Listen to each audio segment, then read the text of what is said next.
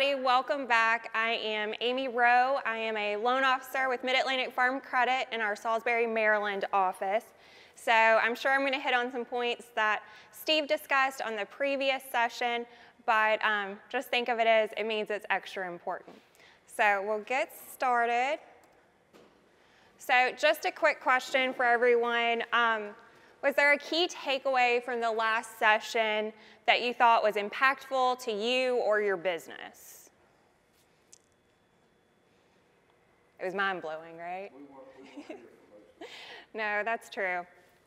So um, I will say Steve did talk a good bit about Marbidco's programs and how that can really be utilized with other partnerships from other lenders to really make a good financial lending package that can be a benefit to your operation. So just a little bit about what we're going to cover in this session. We're obviously going to talk a little bit about Mid-Atlantic Farm Credit because Mid-Atlantic Farm Credit's here.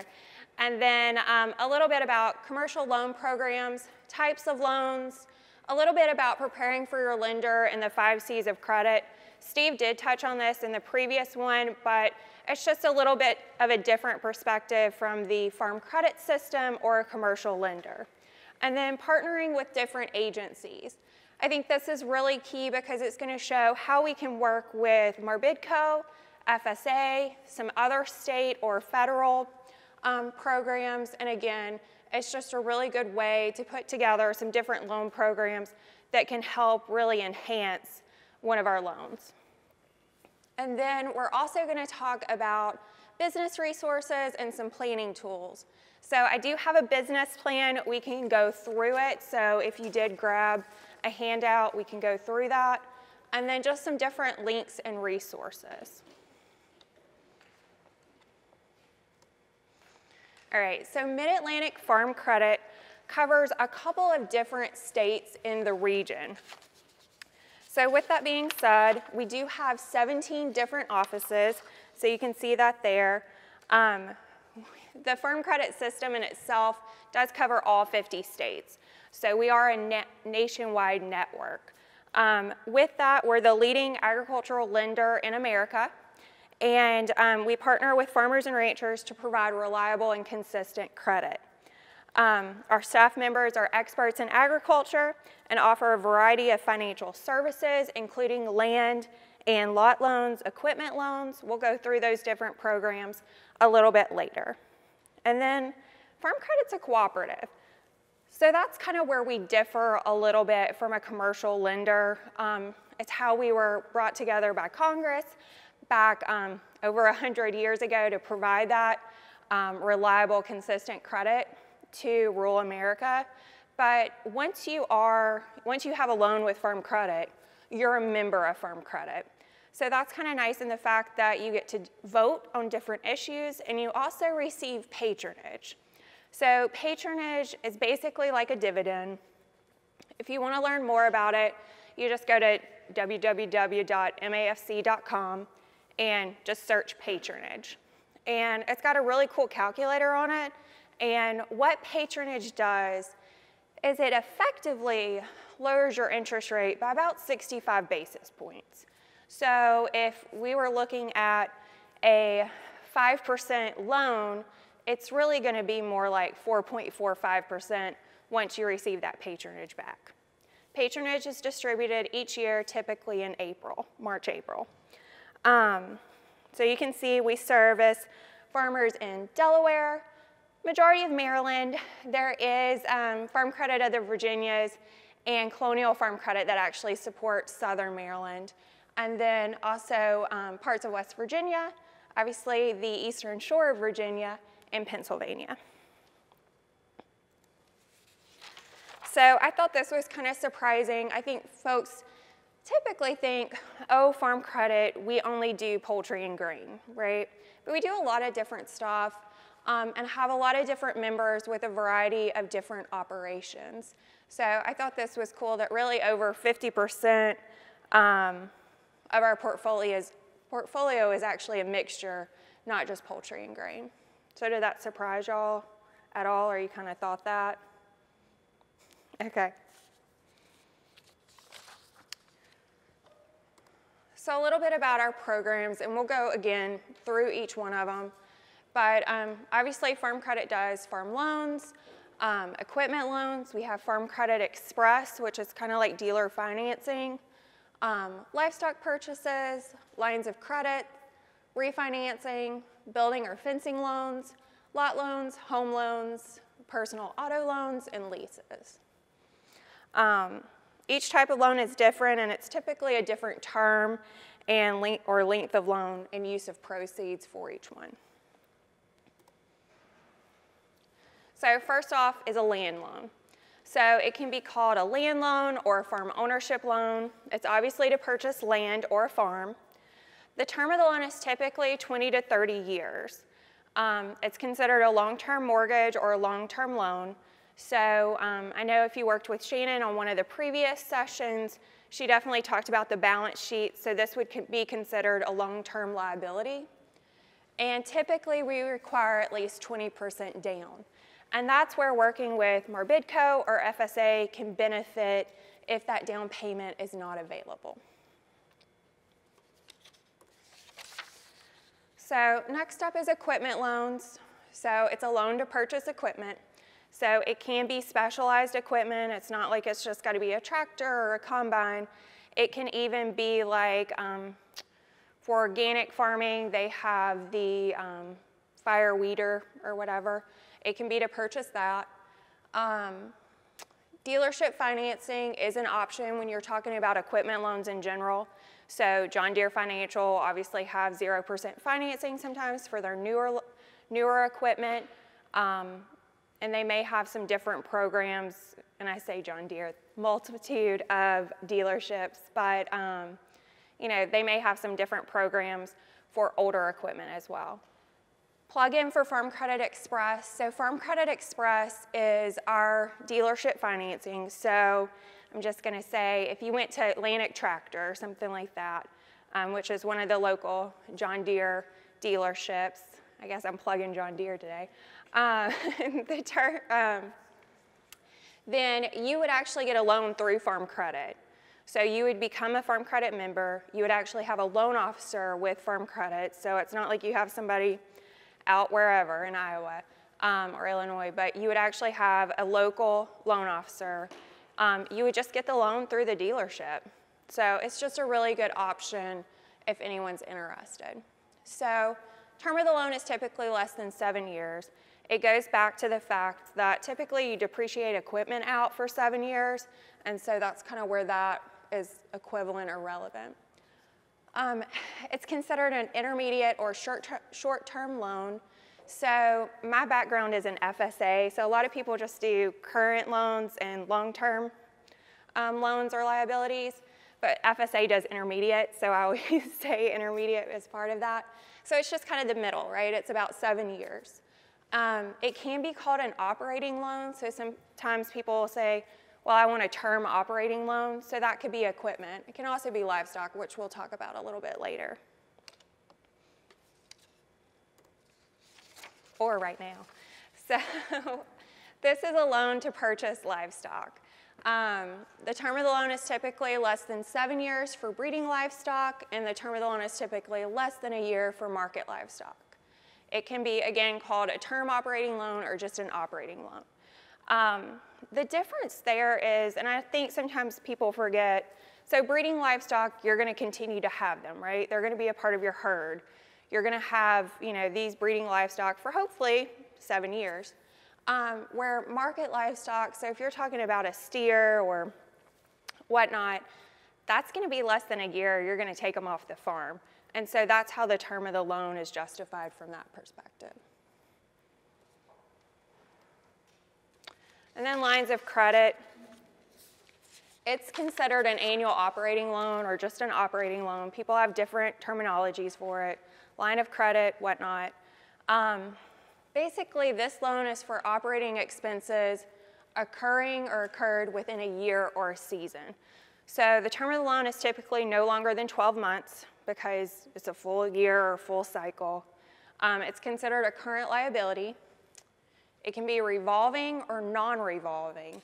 And I will say, do y'all know the difference between revolving and non-revolving? Probably. Yeah. Um, so revolving is going to be basically where you have, say, $10,000 as a line of credit, and you take out 5,000. Well, you sold, it's probably smaller, but you sold a, a load of grain, right? And you put the 5,000 back in. Well, you can take that 5,000 back out. So it's continuously revolving. Where non-revolving is truly like you have $10,000 for the year. Once you take out 5,000, you only have 5,000. Um, if you take out all of the 10,000, you're done. It's not going to revolve back. And then refinancing. So refinancing the debt that's already been financed. Something to think about. It's also something to be cautious about. Part of that is there can be a multitude of reasons to refinance. Obviously, it can be to reduce the rate. Um, it could be a change of circumstance in the operation. So um, it could be you had a bad year, you know, a year ago. You're still trying to get through it, um, and you just need to spread out the term just a smidge longer to get you back on track where cash flow is comfortable. Um, that can all be part of refinancing.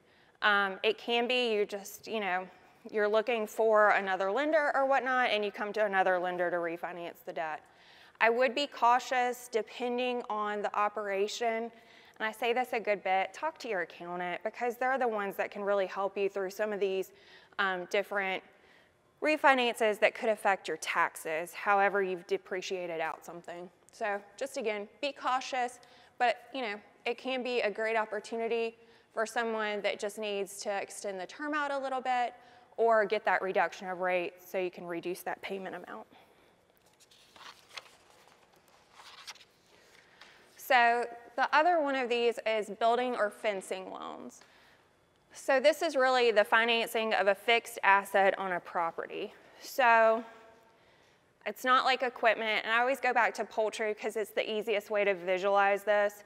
So, you know, the waterers, the feeders, um, that's equipment. You can take that out of the houses. Um, your feed bins, more so, and obviously the structure itself, that's a fixture. And that's what this is going to be. It's a fixed asset on a property. Fencing loans are typically no longer than seven years, and it's really to build a fence um, or any kind of infrastructure from that perspective. And then building loans are typically no longer than 15 years, and that would be for pole buildings, poultry operations, hog operations, dairy operations, anything like that. The reason that they're no longer than 15 years typically is because you're looking at the life cycle of that asset. And that's what all of this comes down to from a term perspective is what's the life cycle of the asset itself.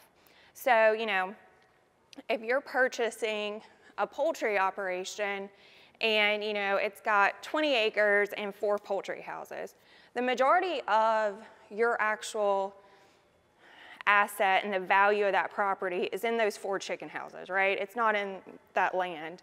It's, I mean, it has, the land definitely has value, but it's also in those poultry houses itself. So we're gonna look at that when we determine term more so than the land itself. It gets a little different when there's a little more acreage, but it's really looking at what is that life cycle of that asset. And depending on what it is, it obviously can be an intermediate or short-term loan or a long-term loan, depending on the term. So Farm Credit also do, does consumer loans. This can be for more than just full-time farmers or part-time far farmers. This can just be for rural residents in general. Um, and all these loan types, most lenders will do. I will say that Farm Credit specializes more in agriculture or real estate and equipment, um, but definitely something, you know, just to think about. Lot loans are typically less than five acres. So once you get over five acres on land, typically it's considered more of a farm than just a lot, right?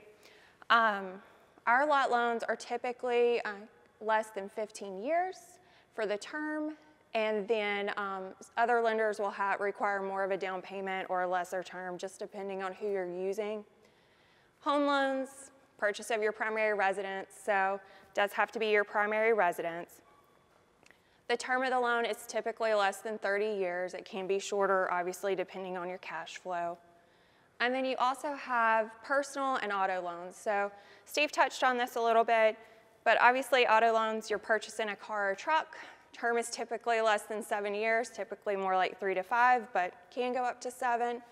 And then a personal loan can be used for a multitude of reasons. Um, usually it's less than five years on the term. Um, sometimes it's even three years. And then the last one is um, actually leases. That's not really a loan. It can be at the end of it, but you're financing of equipment or structures. So they do leases for solar buildings. Um, term of the loan depends on the item being leased. There is dealership leasing, Farm Credit has leasing, um, but typically there's a buyback at the end of the lease. So you're paying a lease payment of X and then at the end of the lease term, you may have, I don't know, 5,000 left, maybe 50,000 we'll say, but 50,000 less, and that can be turned into a loan. But I will say, leases are kind of interesting because you count the lease as an expense on your taxes versus if you purchased a piece of equipment, you would depreciate it out. So main thing, again, talk to your accountant because they're gonna be able to see your overall financial picture and what makes the most sense from past history and future planning. Does anybody have any questions about the types of loans? Okay. So next up is preparing for your lender. Pretty basic in a lot of ways. Um, we're gonna need a balance sheet, so I think everybody talks about Balance sheet and cash flow is the most important things or most important documents you can probably have followed by a business plan. Um, and typically a business plan includes cash flow and balance sheets. So. But when you meet with a lender, you come to Farm Credit or anyone else, Marbidco as well, FSA, they're gonna request a balance sheet, your last three years of taxes, both personal and business, copy of your driver's license, and copy of your last two pay stubs if available. And then depending on what you're gonna wanna do, we also may request any kind of environmental permits or anything like that. The business plan, we'll go in more depth a little bit further along, but it doesn't have to necessarily be formal. Obviously, we have a guideline for a business plan, but you just need to know what you're gonna do, what the costs are gonna be, what the income's gonna be, what are you really planning to do and what are your goals? Um, have you thought through what the pricing's gonna be if you're doing like vegetables? Um, you know, have you really thought what that cash flow is gonna look like? And if you wanna purchase a new piece of equipment or a, purchase a piece of land, do you know how you're gonna pay for it? And that's something that you really should think about before you even come to a lender. And I will say too, especially regarding a business plan, make sure you really think about projections because I think some folks just think, well, I have equity in this property, um, I should be able to get a loan. Well, that's great, but most, most lenders are not equity lenders. We're cash flow based. We definitely want you to have equity in the property, but we want to make sure that it can pay for itself. So y'all have already went through a balance sheet, but I just think it's kind of important to go back through it again because a balance sheet and cash flow or an income statement is what we look at. Um, so really quick, assets are typically on your left, liabilities are on your right. So everything you own, everything you owe. Um, it is a snapshot in time. So what if you do a December 31st balance sheet, it could be completely different January 15th. It's truly just a snapshot in time. This is what I own. This is what I owe as of this date. Um, the nice part about December 31st balance sheets, and I'm sure others can contest to this as well, is once we have consistent balance sheets year over year, so if you consistently do December 31st balance sheets, we can see how you've been growing your operation, how you've been utilizing your cash, what you've been doing, and we can start looking at trends. And that's where that kind of really plays a good part to that. And then income statement. So really it's just what's your income, what are your expenses, and it's usually over a year period or at least a growing season. But typically we look at it year over year. I will say, did Shannon go over accrued versus cash basis income statements a little bit? Okay, so um, basically a cash basis income is going to be what truly um, you have received that cash. It is what has come in, it is you have that cash. Where accrued income statements counts basically accounts receivable. So you haven't gotten the cash yet, but you know you're going to get it. Um, either way, the statement shows income, subtracts expenses, and ends with a net profit or loss for an accounting period. So kind of some other non-financial items to discuss. I think it's pretty important is what do you do? What's your operation in itself? How many acres do you farm? What do you do? What's the scale of it? Um, who owns it? Um, are there any key management roles? What's your experience? Do you have a succession plan? Is the next generation going to pick it up or are you going to sell? What, what are you going to do? Um, as well as production information. And I will say, just to know, like, you're an average performer, above, below. You know, if we're looking at just truly like corn and bean operation, what are typically your average yields? Um, and that way we can truly have a better picture of what is to be expected in the next year. So when we do our projection, it's more accurate. And then any kind of legal entity documentation. So if you are an LLC or any type of entity in itself, we're gonna need your articles of organization and your operating agreement. That's kind of just standard. Anybody have any questions so far? Okay. So Steve went over this again, but I think it's just really important on the five C's of credit I mean, this is how we make a loan. So we look at the five C's of credit, and this is what either gets a loan approved or denied. Um, and I will say that it's kind of nice to know too, again, it goes back to that balance sheet and income statement or your tax returns. Um, when we start looking at a balance sheet, that's what we're gonna look at from a capital perspective and a collateral perspective. So um, that's why that document is so important is that's what we're going to look at when we look at your capital and your collateral. Um, I will say liquidity is pretty important when it comes to capital. Um, could you pay one of your one year of payments right now? And then um, for collateral, what's available for a lender to take a lien on? Or is, you know, is there a secondary source of repayment? That's what we're going to really look at there. And then capacity is really going to be based off either a projected income statement or tax returns. So it's really going to show what is your repayment capacity, what's the debt coverage ratio. Um, I will tell you Farm Credit Standard for debt coverage ratio is 125%. So that's what we're going to look at there. And then conditions.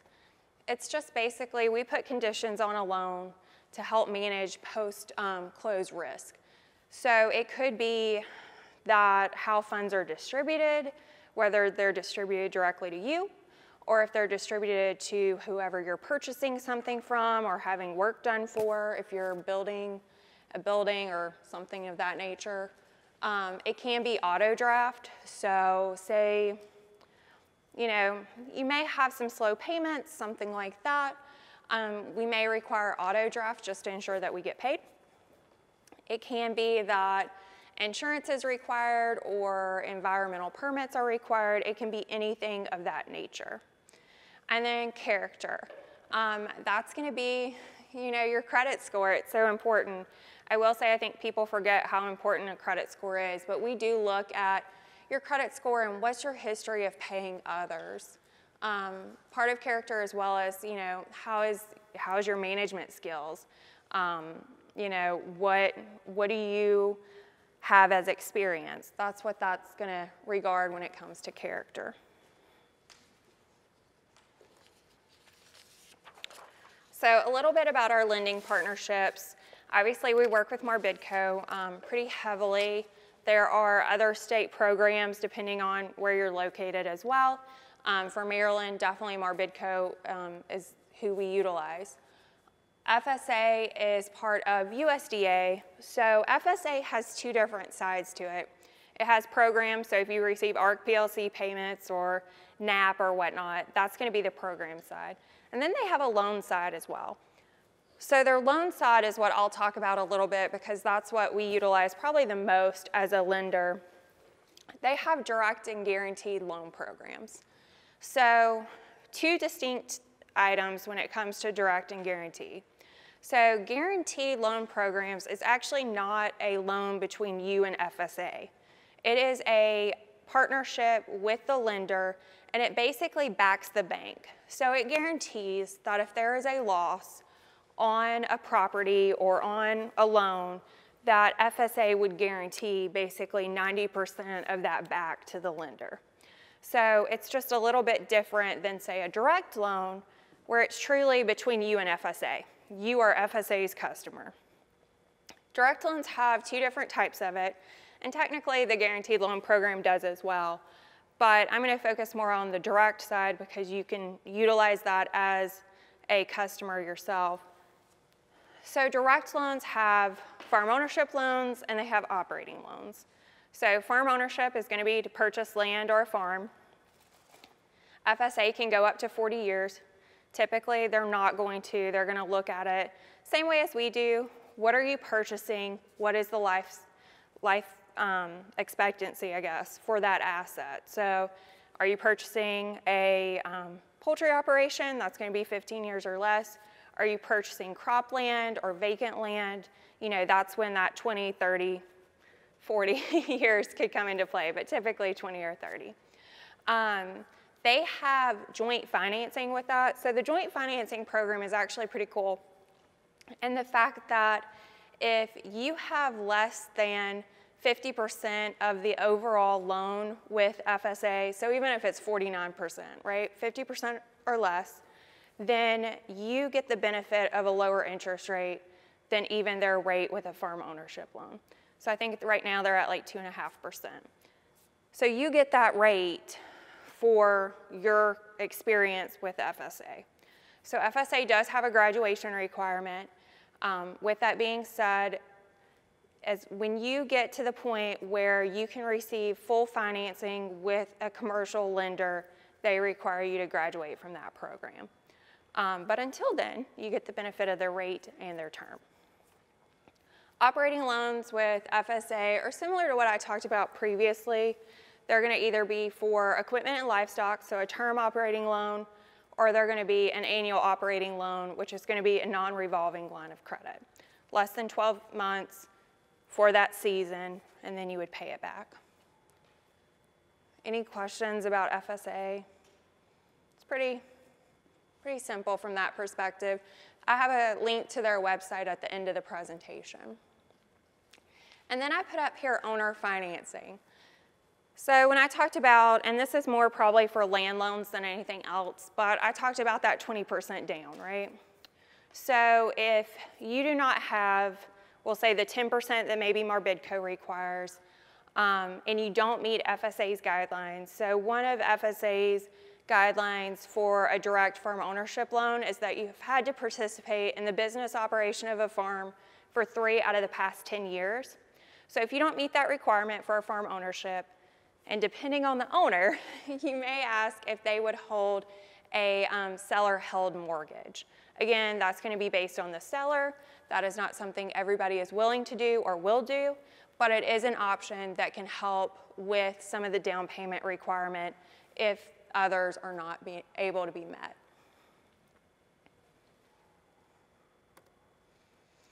I thought I'd give y'all some examples of how we would utilize some different programs with either Marbidco or FSA. So um, I just kind of put up there. So a beginning farmer um, was looking at a piece of property with um, a land preservation opportunity, and they had limited down payment requirements, right, or, or capabilities. So we may go to Marbidco, or the customer may go to Marbidco and say like, hey, look, I want to purchase this 100 acres, right? But I don't have the 20% down that Farm Credit's going to request.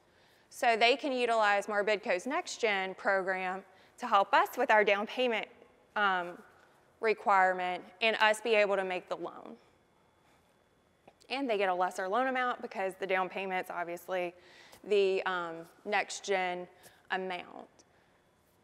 And then, you know, a customer wanted to start their own farming operation and had worked for another farmer or had just done it on the side for the past three years, we could use FSA joint financing to purchase a piece of land. So it's just kind of utilizing different tools in our toolbox to make sure that we look at all perspectives to be able to make a loan. Here's just another example.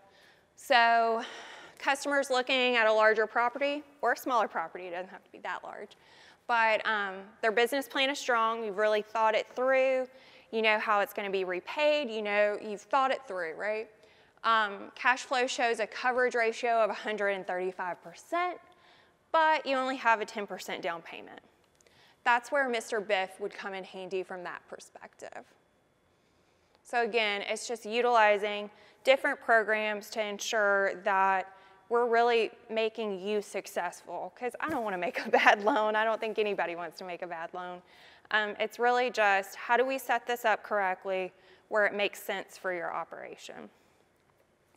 And then again, um, customer has a well thought out business plan. The operation's not fully established and there's some risk involved with the operation. Um, maybe it's just a market that they haven't fully explored yet. They've thought it out, but there's not been an actual, they haven't actually sold anything. It could be, I don't know, going from vegetables to flowers, right? You kind of know the distribution channels, you probably know what your cost per acre is, but you just haven't done it quite yet. Um, most of this credit standards are met with farm credit. We may request a guarantee from FSA, which just protects us more than anything else and allows us to make the loan. So I really wanted to make sure we talked about this. Um, so you're approved, now what? So you've brought us all the information, we've worked through all the numbers, it sounds like it's gonna be a great loan. We make the loan, you sign the papers, now what, right? Your relationship shouldn't stop there. Invite your lender to visit your operation. Don't be surprised when we show an interest in what you're doing.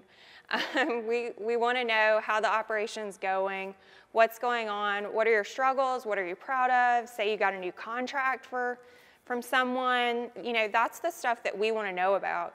We want to know like, hey, I had a heck of a year with my corn crop. Like, you know, that's we want to know that. Um, stay in touch in good times and especially the bad. I think a lot of folks think they've had a bad year, like maybe I'll be a little slow with payments, I'm not gonna talk to my lender. That's the worst thing you can do. If I don't know what's going on, I can't help you. So, you know, it's not gonna say that it'll get approved every time, but, um, you know, say that it was a really wet, you know, fall, which it has been this year, but it's a really wet fall. You've got some beans that are still out on the field, but once you get your beans out, you'll be able to make your payment. If I know that, I can help plan for that. Um, we definitely want you to make your payments in a timely manner, but things happen. It's farming. That's why it's cyclical, and you know we're there for, through the good and the bad. And so be proactive. Timing's everything. Again, let me know what's going on, and then let's have an annual meeting. I like this for a lot of my customers because we're able to gather balance sheets, maybe your tax returns, and really start building that trend. So even if you know you just have a line of credit with us right now or a small piece of equipment, once you get ready to purchase that piece of land, we have that information available and it's a lot easier to do. We can also work with you on, you know, I get folks that'll be like, hey, I'm thinking about doing this if I already have your information, I can do a rough estimate of what cash flow is going to look like and how that's actually going to be projected so you know where you stand as well. So your lender is your partner, so just remember that.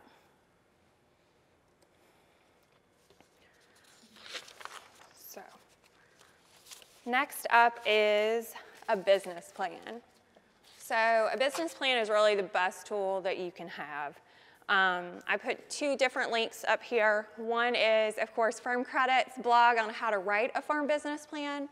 And the other one is Extension's um, business planning workbook. It's a really good thing to have, especially if you're starting out or even if you're established. It's still a really good thing to think about and kind of go through just to make sure you've checked the boxes. So do you already have a business plan or thinking about a business plan? Okay. So I will say most folks are like, well, I don't know where to start. I don't want to start. Um, it's too much to think about. And I will say that a business plan is just a roadmap. Destination can change. It doesn't mean it's set in stone or what you decide today is what you're going to do 10 years down the road. I mean, it's life, right? I mean, that's just part of it. So with that, it's just to get started and starting to think about things, and it also help you start estate planning and seeing where you want your operation to go. Um, the main thing is it's not set in stone. So I have the business plan little worksheet right here. Go ahead. I think it depends. Um, there's definitely going to be some parts that are going to be updated annually and that you're going to want to continuously review. It also depends on how your operation is moving forward. So I think it's always a good thing, no matter if you have a true, you know, this business plan right here, or you just have something written down. I think it's a good idea to go through your financials, your plans for the next year.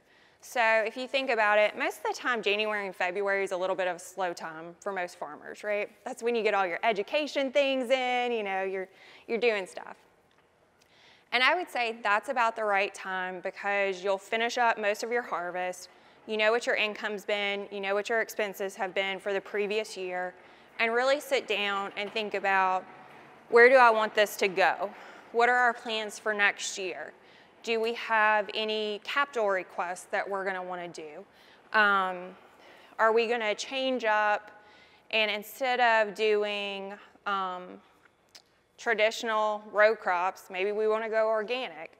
You know, just a really good reset at the end of the year that you can utilize a business plan with to just see how you want to progress. And that's really what it is, is just making sure you're having those check-ins to see where your operation's really at.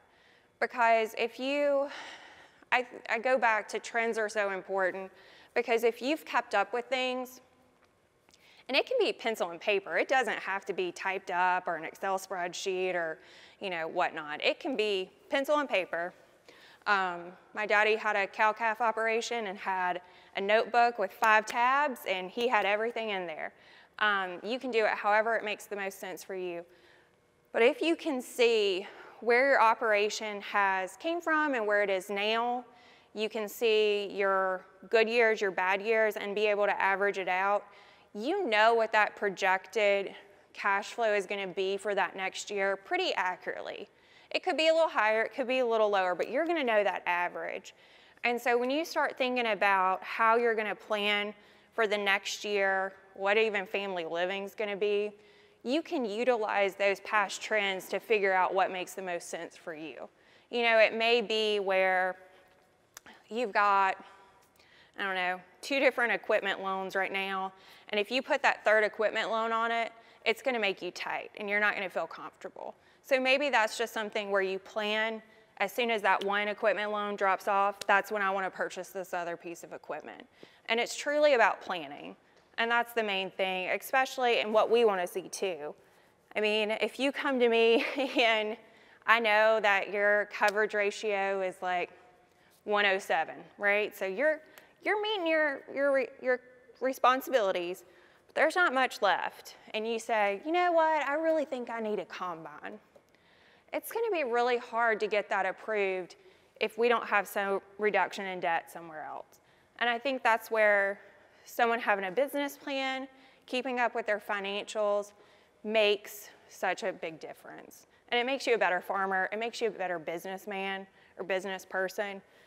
Because even though farming is a way of life, it's a business, and that's how you have to treat it. So like, well, in our case, you know, I had, when I went, met with Jim last year, there was a, a couple of different little issues. that Yeah. But I was able to accomplish a lot more than anticipated. Mm-hmm.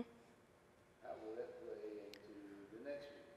And I think that's the key. So the question was, you know, a previous, you know, couple of years, we'll say that may have had some low yields or low income, and then, you know, it's increased because of either a change in business plan or just, you know, maybe you got a different seed variety, income went up. So that's part of having those trends and having those three to five year trends um, is that you can kind of see within three to five years your ups and your downs, and you can average it.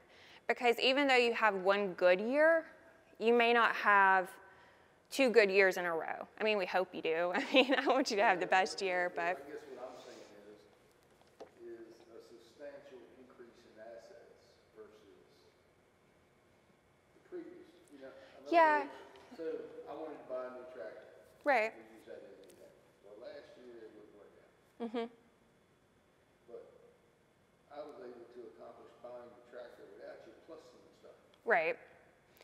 Was that, so the question was um, utilizing cash on hand versus a loan and cash flow, basically.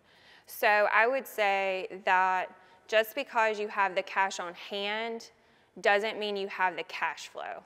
Right. And Well, I mean, the, the cash on hand was generated cash flow. Right. But is it a one year trend or is it going to continue? And that's where, twofold too, because if you're farming, you're going to have good years where you have a substantial amount of income that you hope for but may not always utilize or see. Um, and I think that's where a balance sheet's going to show that. Obviously, it's going to show your increase in cash, or you utilize cash to purchase an asset, and you're going to see that increase in hopefully net worth. Um, I will say it's still that's a hard question for the fact that you're still going to want to utilize trends because even though you have one good year, you don't want to count just on that one good year to project what you're going to do. But um, yes, I think for the next meeting, it's a benefit because you're going to see that improvement not only in income, but also on your balance sheet because you utilized it, right? And I think that's on a balance sheet. You know, folks will say, I made, I don't know, $100,000, right? Well, what did you do with that 100,000? You know, is it in cash? Is it in equipment? Is it in land? Or did you utilize it for family living? And that's what we're to really look at. Like, what have you done with your cash? And honestly, if you're utilizing cash, and obviously talk with your accountant, but if you're utilizing cash to purchase a piece of equipment, you're growing your balance sheet. And I think that's what it really comes down to is how do you want to utilize your money? Because it doesn't matter what I say, right? It's how do you want to utilize your money and how do you want to live? I think that's just what you got to think about. But um, if you are increasing your assets, you're increasing your net worth, that's going to make a difference the next time you meet with a lender. Because we're going to look at your whole financial picture. And the nice part is you probably had a really good year, which will count towards your averages, which will then be utilized for the next time. So it's a win win. Any other questions? You got a question? okay. So I'm going to go through the business plan pretty quickly, um, but just really want to give y'all a basis of what a business plan is and what you should think about. So first and foremost, you're going to have contact information. Please make sure it's accurate because that's how somebody's going to contact you. Um, you know, folks will put like an old address or an old phone number. That does nothing for us. It doesn't do anything for you or for me. Um, so just make sure that contact information is correct. Um, next up is an executive summary. So it's really going to be what's the highlight of your business plan? Do you have any expansion plans? Do you have any different marketing opportunities? Just some basic trends. It can be, you know, we've grown over the past three years, XYZ. Just kind of just a brief statement. Um, any kind of projections, what do you think you're going to be doing in your mission statement if you have one? And I will say this executive summary, if you only had to show one page of your balance sheet, this executive summary is, would be what you wanted to show them. So next up is introduction. Pretty basic from this standpoint of, you know, what do you produce? What do you market? What's the size of your operation or the location that you have? You know, are you 20 acres? Or are you 200 acres? What's your operation? Um, short-term goals, it could be um, you want to, I don't know, pay off two, two equipment loans and have in the next two years or three years 20 more acres or 200 more acres that you're farming. Anything that's kind of, we'll say less than five years. And then long-term goals. And long-term goals can be in 15 years, my son or daughter is going to be, you know, or going to be done with college. We want them to come back to the farm. This is how we're planning to make that happen. If you're starting a new operation, it's a little bit different, but it's still same gist. But it's going to be how are you planning to start it and what's your course of action to build your operation. So it's really just putting pen to paper, this is what we're going to do. Or pencil to paper, so it's erasable, but you get the gist. Um, and then next up is going to be, I will say on this, based, going back to the introduction, um, it does talk about insurance, estate planning, retirement plans, just short little blurbs from that perspective.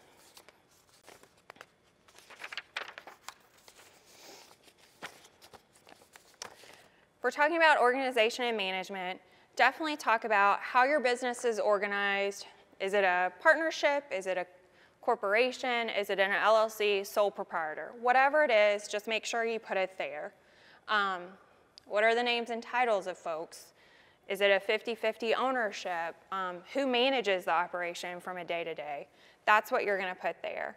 Um, as well as there's like a little spot for an organizational chart. I will say with any of this, you can add appendixes to the back of it and just say reference appendix, whatever. Um, this could be for some larger operations or just for in the near future, this is what you want to do. But it talks about benefits offered, reward structure. So if you have, maybe you offer health insurance, that's something to put there. And then it also talks about a contingency or an exit plan. So what are, what are your plans if something, something doesn't go right? That's what you would include there. I will say business advisors are truly important when it comes to a farming operation, whether it's new or established. You need to have a good accountant that knows a farm operation. Um, and I say that because they can help you utilize and ensure that you're prepared for that next tax year and for the future, maybe even if it is estate planning and transferring that ownership to the next generation or to whoever. Um, an attorney is good to have in case you know you're purchasing real estate, um, you're thinking about doing some different deals, whether you want to go from a sole proprietorship to an LLC. Attorney's a great thing to have around. Um, and then you do need an insurance agent that knows farming, that's able to obviously insure equipment, um, livestock. I know a couple of different insurance companies, actually, if you have livestock on the property or you have any kind of crops, they are not able to do a, um, oh, a liability insurance on you. And then an extension agent's always great. Um, they can help provide you with different resources. There's definitely a lot of different educational classes that come with that. and then a crop or livestock advisor. Obviously, um, in Maryland, having a nutrient management plan and having that relationship with that person is always important too. So if you go to mafc.com, we have a good many blog posts, and I will say there is a networking dash beginning farmers dash farmers, beginning dash farmers, there you go. Um, and it's a really good resource, and it kind of tells you the top six advisors or networking partnerships that you need to start out. It also includes like FSA, NRCS. Those are the folk, kind of folks that you need to talk to and think about because they're going to know some different programs and opportunities that can benefit you.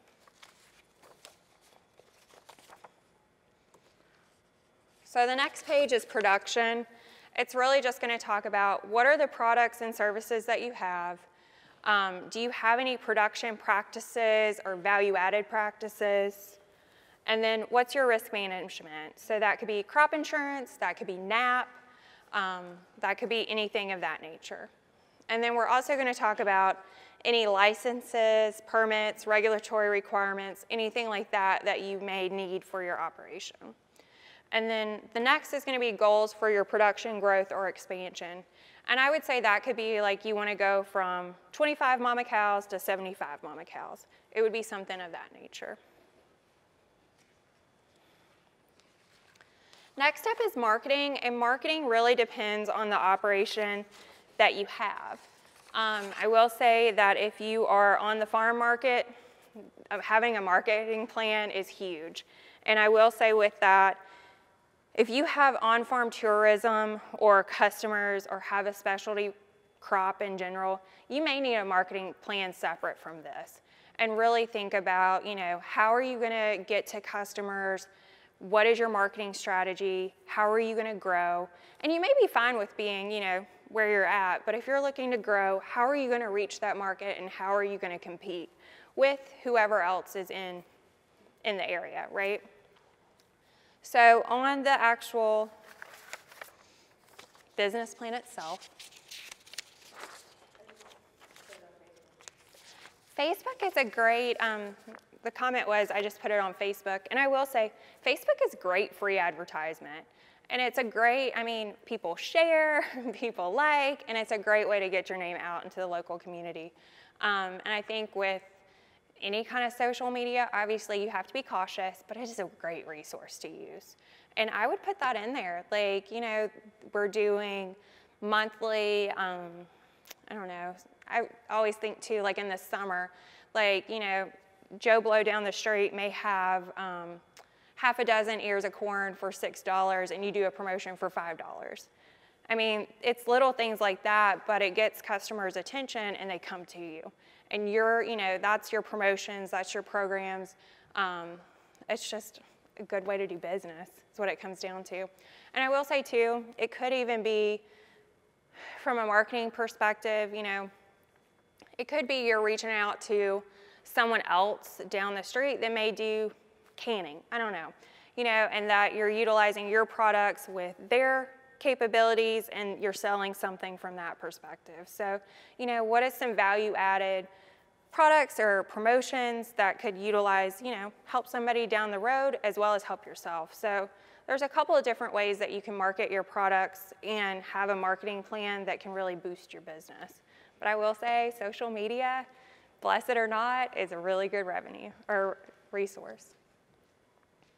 Um, I will say too, and y'all have been in agriculture a good bit, but um, having that network and having those memberships and affiliations and being involved in the community is huge. And that's a great way to, you know, grow your business too, because the more you're out there, the more people know what you're doing. Next up is finances. I feel like that's all we talk about is finances, but it is really important. So, um, you know, it's going to be the income earning um, potential for your operation. Um, if you have any historical performance, you're going to put that in the, here, and that can just be year over year trends. It can be how you work with your assets, how you manage those, any kind of capital request. You're going to want an updated balance sheet. I will say that typically each year you need to update your balance sheet. Depending on what you grow or what you produce because you're really going to want to see, again, year over year trends. So just make sure you update and really start thinking about updating your balance sheet once a year if you aren't already. And then um, actu your actual income statement. So what is it as of right now? So as of 2020, what's your, what's your cash flow going to be? And then projected. So next year, 2021, you may get 100 more acres of ground, right? Well, that's going to change what your income is going to be. And so if you have a projected income statement, you can show this is what our expected income and expenses are going to be. If you have historical performance, you can see what your cost per acre is going to be or your income per acre, and you can accurately project for what that next year is going to be. I will say um, part of this is if you're starting a new business, or even if you're not, I think a lot of people forget about family living. It's, a, it's an expense. And you need to make sure that when you're doing your projections and you're looking at your cash flow, that you take that into account. For new businesses themselves, like if you're just starting out, you really kind of need to think about having six months to a year of income just so you have that safety net and that you're setting yourself up for success. And that's what it's really all about. So that's basically a business plan in a really small nutshell. Uh, but do y'all have any questions about a business plan? It's really just doing it. I mean, that's just starting and just starting to write down. And, you know, end of the year's coming up, January, February. Um, it's a great opportunity to start thinking about what your business plan is and what you're looking at for the future. So I'll be honest with you, FSA really emphasized using extension budgets. I think they're a great resource. I think it's really good um, to get a good idea of what realistic income and expenses will be, especially if you're starting out and don't have that historical data to fall back to, because you can kind of see what average pricing should be, what average yield should be, and what your typical expenses are going to be. Because I think sometimes, you know, you may forget, oh, you know, it's, you know, sometimes it's a wet year, you may have to go over the field more than twice with a fungicide, I don't know, whatever. And it's just thinking about those different expenses and just making sure you're realistic about what they're gonna be. Um, education opportunities, y'all are obviously here, so that is fabulous. Um, but your other education opportunities, I'm gonna make a plug for Farm Credits Ag Biz Masters. Um, it's a really good program that you do not have to be a Farm Credit member to be a part of.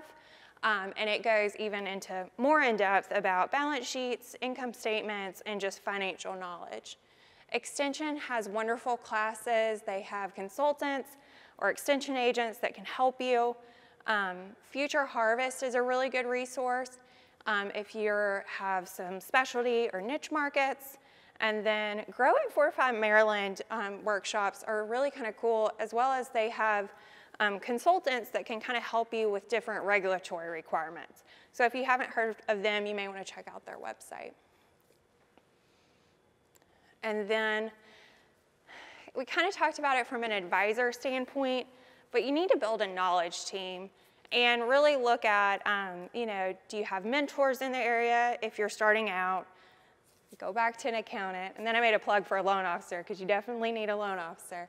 But, uh, and then you also need to really think about those business consultants or specialty and industry ex experts and just build a team around you to make sure that you are successful.